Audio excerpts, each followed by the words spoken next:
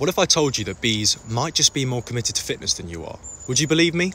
Hey everybody and welcome to Wilder Minds. This is a new YouTube series that I'm creating to share with you some of the most mind-boggling facts and information about the animal world. I'm going to try and cover as many animals as I can and these are all stories from around the world that I've learned as a zoology student and also from my own reading. And today's episode is all about bees. Bees are one of the most important animals alive on planet Earth today and they're best known for one thing, pollination.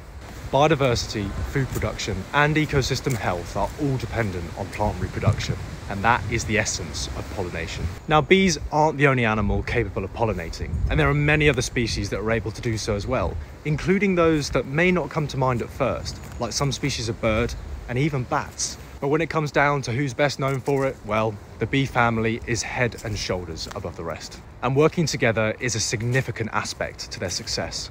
And one example of their extraordinary teamwork is when a colony needs to move hive. Now, growing to be as twice the size as the workers, queen bees are actually so heavy that they're unable to fly. But the queen cannot be left behind. And so when it is time for the colony to leave the hive, the workers adopt a remarkable behaviour. They basically put her on a fitness and dietary program. The workers begin to limit the amount of food they give to the queen, and they'll also shove and nudge her around the colony, forcing her to walk and resultantly lose weight, slimming her down until once again she is able to fly. Just how remarkable is that?